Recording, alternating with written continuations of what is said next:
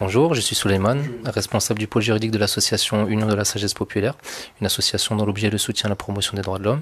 Actuellement, nous soutenons des salariés d'entreprise qui ont été victimes de violences psychologiques, de l'ordre du harcèlement moral, des discriminations et du racisme. Je vais vous laisser le soin de vous présenter dans un premier temps. Alors, je suis Jean Bourriot, je suis euh, chercheur en sciences de l'éducation, mais j'ai un parcours qui est un, croisement de, terrain euh, et de recherche, voilà. Et c'est ce qui fait qu'aujourd'hui, je me sens bien dans mes chaussures, c'est de pouvoir à la fois m'appuyer sur des études, des recherches, des partenariats avec euh, des acteurs de la recherche, et en même temps de m'appuyer sur un terrain qui est passé par les associations, les collectivités territoriales, l'État, voilà. Faire un bref récapitulatif des postes que vous avez occupés ou que vous occupez toujours, les postes clés que vous jugez judicieux de mettre en avant aujourd'hui Oui. Alors, euh, peut-être pour dire que j'ai commencé par être euh, enseignant, euh, mais non, j'ai commencé, j'ai même pas commencé en étant enseignant puisque j'avais engagé les études que j'ai arrêtées en ne trouvant pas correcte la façon dont se passaient les études à l'université. J'ai été travailler en usine à Vélo Solex, fabriquer des carburateurs, et c'est là que les ouvriers de Vélo Solex m'ont dit c'était pas normal que quelqu'un qui avait le bac euh, euh, soit à, l'usine parce que si eux ils avaient le bac euh, ils sortiraient vite de l'usine. Et j'ai repris des études pour être enseignant. Voilà. Donc j'ai été enseignant. Et c'était une bagarre permanente. Entre autres sur des questions j'étais avec des élèves de SES e de section d'éducation spécialisée ce qu'on appelle les SECPA aujourd'hui. Donc entre autres sur des questions de racisme de discrimination symbolisées par par exemple la pose d'un grillage entre le collège et la section d'éducation spécialisée donc ça a été six ans passionnants, intensifs, avec des élèves que je revois encore, hein, c'était en 76, euh, mais... Euh, euh, en même temps extrêmement fatigant. Et du coup, je suis rentré dans une association et j'ai participé à la construction d'une association pour pouvoir au quotidien travailler avec des personnes en volontariat international, des personnes en insertion sur la base de l'hébergement et du chantier international. Bon, et puis ensuite, les, les, les, choses ont avancé. Je me suis retrouvé à travailler sur le développement local à partir des chantiers.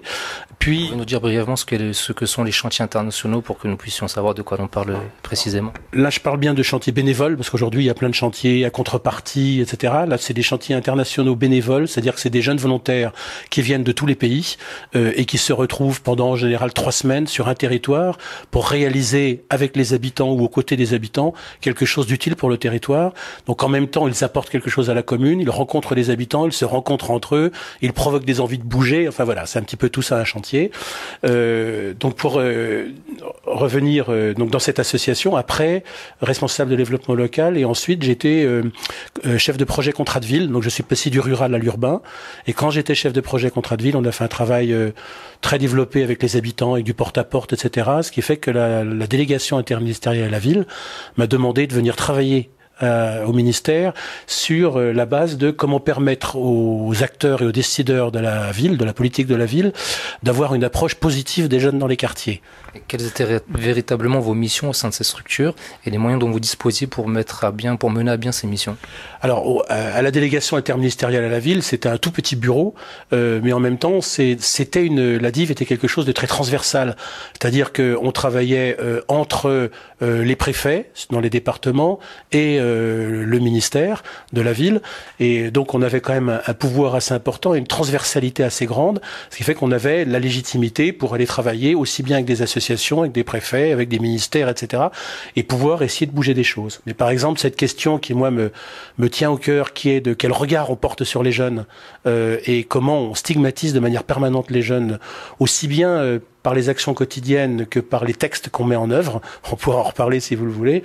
Euh, J'ai pas jamais réussi à faire que ce soit pris en compte d'un point de vue interministériel au niveau des ministères.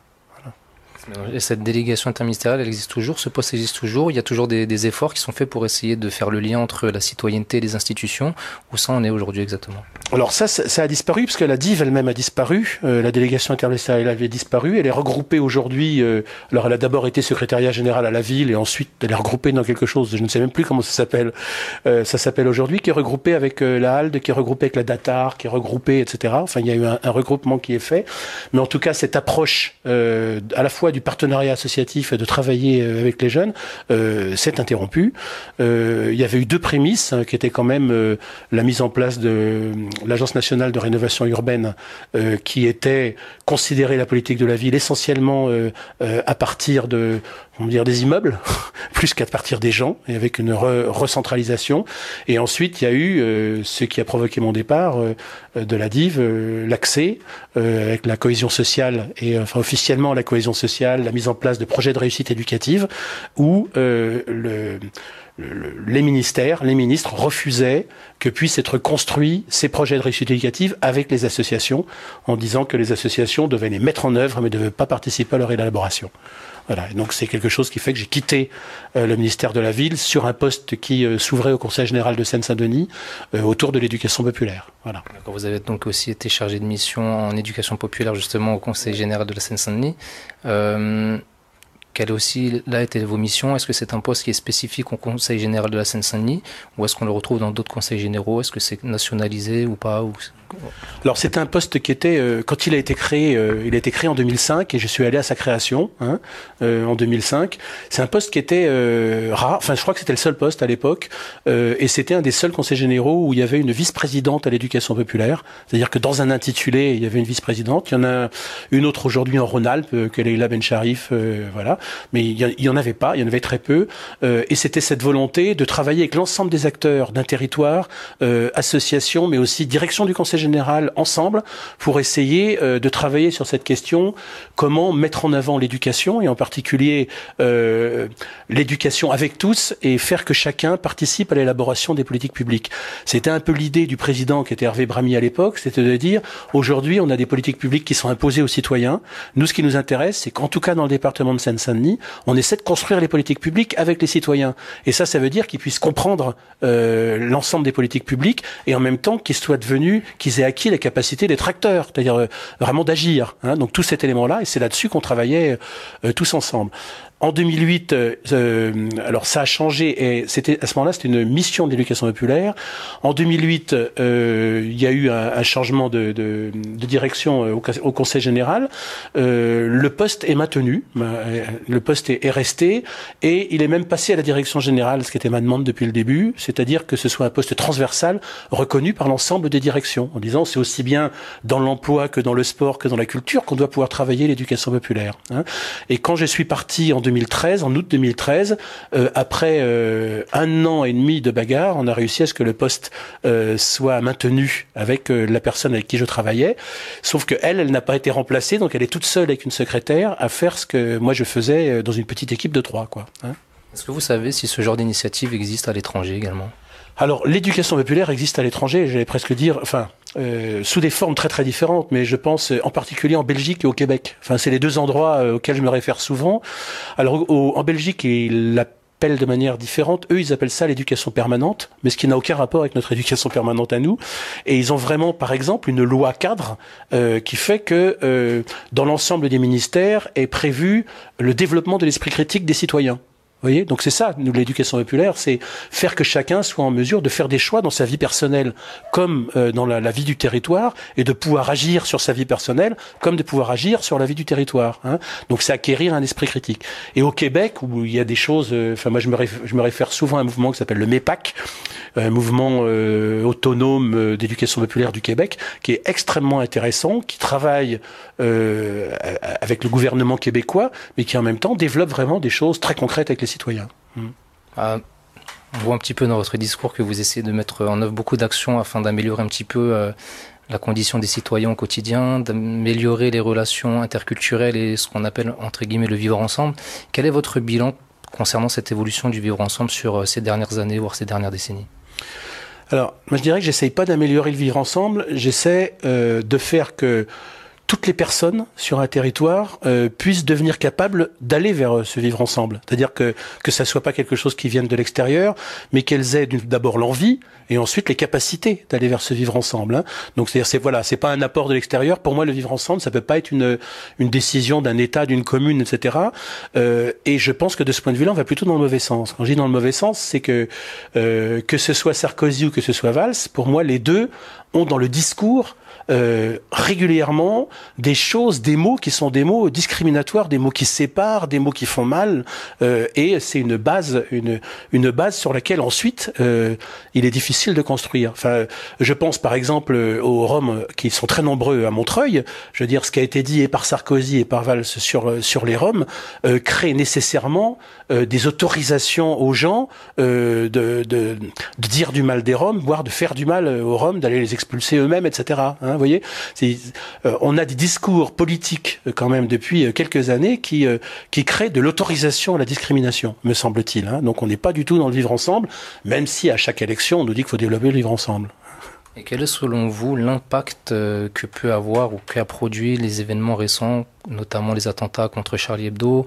Bon, il y a eu pas mal de choses aussi dans les médias, tels que l'événement de la jupe longue, etc. Quel est selon vous l'impact que ça a sur, bah, sur, sur la population? Moi, j'étais un petit peu gêné avec ça parce que euh, euh, on, on, a tous réagi euh, très émotivement à juste titre par rapport à ce qui s'est parlé à, à, ce qui s'est passé à Charlie euh, euh, et dans le, le, magasin Cachère. Hein. mais en même temps, tout de suite, et ça, je pense que c'est avec un minimum de conscience politique, on, on s'en rend compte. J'avais la crainte de l'union sacrée. C'est-à-dire, euh, euh, autant je me disais, il y a quelque chose d'horrible qui vient de se passer contre lequel il faut travailler, autant j'avais la peur de l'union sacrée. C'est-à-dire que j'ai quand même le souvenir, enfin je l'ai pas vécu, mais dans les lectures euh, de l'assassinat de Jean Jaurès en 1914, qui a permis l'engagement dans la guerre. Hein, voyez et je me suis dit qu'on a quand même, en 1914, on avait toute une population en France et en Allemagne qui était contre la guerre, qui disait euh, euh, l'ennemi, euh, c'est pas l'ouvrier allemand ou c'est pas l'ouvrier français, l'ennemi c'est votre patron. Et tous ces gens-là, d'un seul coup, se sont rués les uns vers les autres. Enfin, ils y avaient été préparés, hein, mais ils se sont rués les uns vers les autres après la mort de Jean Jaurès. Et moi, j'ai vraiment craint à ce moment-là, je me suis dit, on va nous faire le même coup, quoi. C'est-à-dire que des gens vont s'appuyer sur ce qui s'est passé à Charlie pour essayer de nous emmener tous ensemble dans un magnifique élan euh, pour aller faire la guerre, pour euh, euh, profiter pour faire passer des lois. Euh, on l'a vu, c'est on, l'avait dit euh, deux jours après, hein, mais c'est voilà, c'est effectivement on le voit bien. Les États-Unis sont en train de revenir sur le Patriot Act pour faire ce qu'ils appellent le Freedom Act. Nous, on vient de faire le Patriot Act, quoi, c'est-à-dire recueil massif. Bon, donc il y a des choses. Pour moi, c'était ça aussi euh, cette crainte-là, cette crainte-là. Et les gens de Charlie l'avaient soulevé eux-mêmes, quoi, hein, en disant euh, euh, attention, quoi. Enfin, est-ce qu'on n'utilise pas un événement dramatique comme celui-là pour, au lieu de réfléchir sur l'éducation, qu'on se mette à réfléchir sur oublions nos différences, acceptons les difficultés qu'on vit, parce que sinon on ira vers des difficultés plus grandes, si vous voulez. Hein. Voilà, c'était un petit peu ça le, le, discours qui a été dit. Bon. Alors sur, sur le, oui, vous parliez d'un autre élément qui était les jupes longues. Euh, c'est un exemple parmi d'autres. Ouais, mais enfin. Moi, je suis à la fac avec des, étudiants dont quelques-unes sont voilées, par exemple. Moi, j'ai jamais eu de problème avec ça. Euh, je pense que c'est des questions qui sont euh, euh, c'est des questions complexes et qu'à chaque fois on simplifie, en particulier parce que dans les médias il faut des choses simples et que les politiques ont besoin de choses simples. Euh, donc, euh, par exemple, pour moi, hein, euh, dire systématiquement femme voilée, femme exploitée, c'est quelquefois le cas, c'est pas toujours le cas. C'est-à-dire que moi j'ai des, des, des, filles à la fac qui sont des filles extrêmement réfléchies, pertinentes, intelligentes, etc., etc. j'ai un copain aussi, par exemple, qui s'est bagarré pour que ses filles, qui s'est bagarré contre sa femme pour que ses filles ne se voilent pas. C'est des, choses, quand même qui sont plus compliquées euh, que ce qu'on nous dit. Euh, voilà. Et pour les jupes, c'est pareil. C'est-à-dire que d'un seul coup, euh, bon, effectivement, il y a quelques filles. Enfin, moi, j'en ai pas vu encore dans mes cours, mais il y a quelques filles qui viennent, qui viennent en jupe longue ou qui viennent avec des pantalons très bouffants. Il y en a, c'est par coquetterie. il y en a, ça peut être par conviction. Je veux dire, peu importe, ça nous empêche pas de bosser ensemble. Enfin, pour moi, ça nous empêche pas de bosser ensemble. Hein. Moi, c'est voilà. Par contre, je suis intraitable y compris en cours, sur dès qu'à propos des vies, euh, euh, ou dès, qu'il y a des remarques sexistes ou des remarques racistes, là-dessus, pour moi, c'est des choses qui ne sont pas discutables, quoi. Bien sûr, c'est vrai que lorsqu'on entend parler du vivre ensemble ou de tels événements qui se produisent, on entend souvent un terme linguistique revenir incessamment dans les bouches, dans les médias, qui est le terme de laïcité. Quelle définition donnerez-vous de celle-ci? J'ai envie de dire ce qu'elle ne devrait pas être. Euh, elle ne devrait pas être déjà ce que c'est aujourd'hui. C'est-à-dire que euh, on nous rabat les oreilles vraiment avec le mot de laïcité, alors qu'en même temps en France il y a deux territoires qui sont l'Alsace et la Lorraine, euh, dans lesquels il y a de l'instruction religieuse dans les écoles. à quel titre? Euh, pourquoi c'est pas supprimé depuis X temps euh, Simplement, on nous dit, bah oui, mais en 1905, ils étaient allemands, donc ils n'ont pas pu euh, avoir la loi de séparation de l'Église et de l'État. Bah oui, mais depuis 1905, il s'est passé quand même 110 ans, hein, donc on avait peut-être le temps de, de, bouger des choses. que je vois par exemple sur la réforme sur les rythmes scolaires qui a eu lieu, bah, les écoles privées, qu'elles soient catholiques, musulmanes, juives, elles n'ont pas l'obligation alors qu'elles sont en contrat avec l'État. Elles n'ont pas l'obligation d'appliquer la réforme des rythmes scolaires. Ça veut dire que des parents qui ne veulent pas que leurs gamins vivent les rythmes scolaires, ben, il suffit qu'ils mettent leurs gamins dans l'école euh, privée d'à côté. Donc, vous voyez, on, nous parle de la laïcité. La laïcité, à mon avis, aujourd'hui, elle n'existe pas, euh, de ce point de vue-là. C'est-à-dire que l'État n'organise pas la laïcité. Euh, alors là, on géré en, en termes juridiques, quoi. Euh, on n'a pas les mêmes lois pour tous en France aujourd'hui. Voilà, de ce point de vue-là. Alors après, euh, le mot lui-même, c'est un mot qui peut euh, euh, vraiment cacher des réalités très différentes. moi, j'ai l'impression aujourd'hui que de plus en plus, en même temps qu'on développe le mot de laïcité, en même temps, les politiques comme les médias nous parlent de plus en plus de religion. C'est comme si aujourd'hui, on ne pouvait plus habiter le territoire de France sans avoir une religion. Voilà. Et donc c'est l'œcuménisme, c'est etc. Euh, il y, a, y, a, une espèce de confusion entre le public et le privé. Enfin, moi, je reste, euh, je fais partie des gens qui considèrent, et pour moi, c'est ça la laïcité, c'est que le, le, religieux relève du privé, n'a rien à faire dans le public. Donc dans le public, il n'est pas question, euh, pour moi, de, enfin, le public, c'est-à-dire euh, dans les écoles, dans les mairies, dans etc. Quelles que soient les opinions des gens les opinions, les vies, les, vies, parce que c'est plus que de l'opinion, c'est de la culture, etc. Ça n'a pas à influer sur euh, ce qu'on ce qu'on fait avec d'autres dans des lieux publics. Voilà. Pour moi, c'est cet élément-là.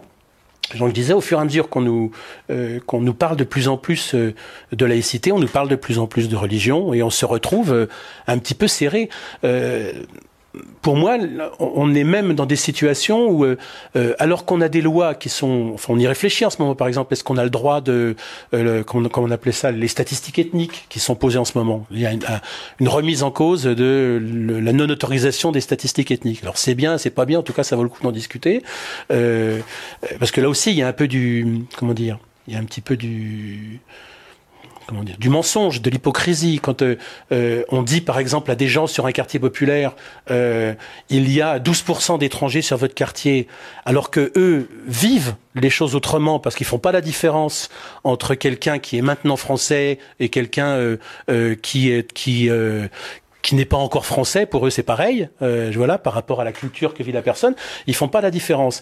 Et donc moi je trouve que ce serait, ce serait plus clair et plus simple de ne pas nier ça, mais au contraire de dire vous avez la chance d'avoir sur votre territoire des gens qui soient français ou pas, mais qui viennent avec une culture asiatique, une culture africaine, etc.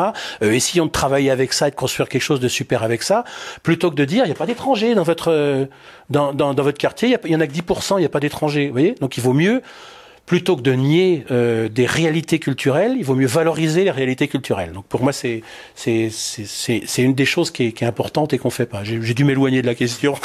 Pas de souci. Vous tout, tout, à l'heure, vous disiez que les lois ne sont pas les mêmes pour tous. Pourtant, il est dit dans l'article premier de la Déclaration des droits de l'homme et du citoyen que les hommes naissent et demeurent libres et égaux en droit. Vous avez l'impression aujourd'hui qu'il y a un décalage entre la théorie et la pratique?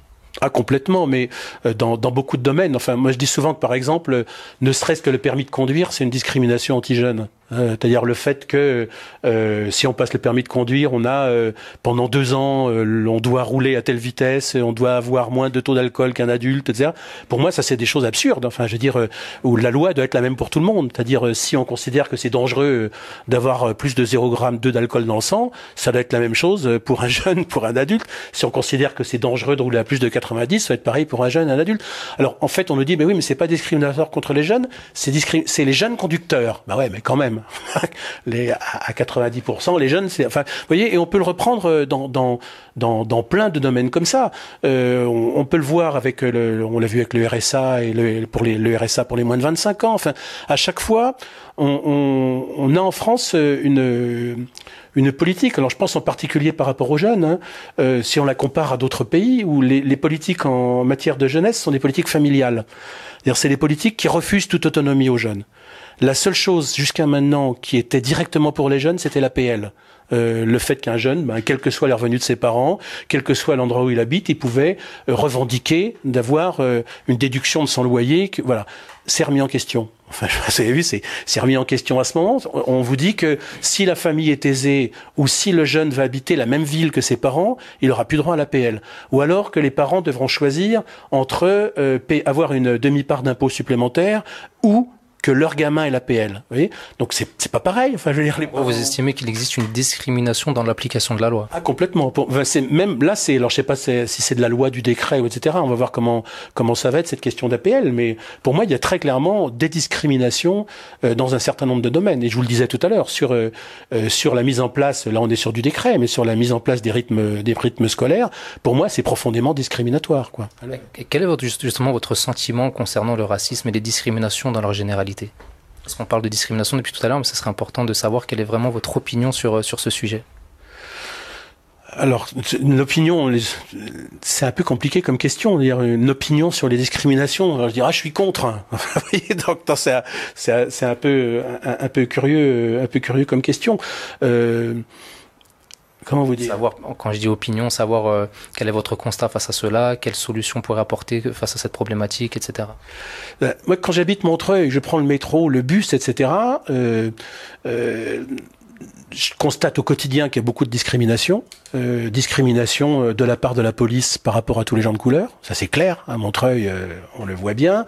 Euh, il y a toujours des discriminations fortes des hommes par rapport aux femmes, etc. Enfin, il y a beaucoup de domaines dans lesquels il y a des discriminations, et moi je pense que les éléments qu'on met en place en termes de loi, même si effectivement c'est important qu'à un moment on puisse protéger, il manque à chaque fois la question d'éducation. C'est-à-dire que je trouve que les gouvernements successifs depuis un moment ont tendance par rapport une problématique à systématiquement sauter toute la partie éducative pour aller plutôt vers de la loi euh, ou du décret. Et la loi et le décret, c'est pas ce qui change le, euh, c'est ce qui protège les gens, mais c'est pas ce qui change les, les, les, démarches au quotidien des gens. Donc moi, ce qui me semble, c'est, c'est là-dessus qu'il faudrait travailler, quoi. Hein euh, c'est pas parce qu'on déclare que tous les gens sont euh, sont égaux entre eux que d'un seul coup ils le deviennent. Si en même temps on travaille pas auprès des enseignants, auprès des, des, de la police, auprès etc. pour qu'ils aient des attitudes, voilà. Et si en même temps on travaille pas un, terme, par exemple, qui moi m'hérisse, c'est le terme d'égalité des chances.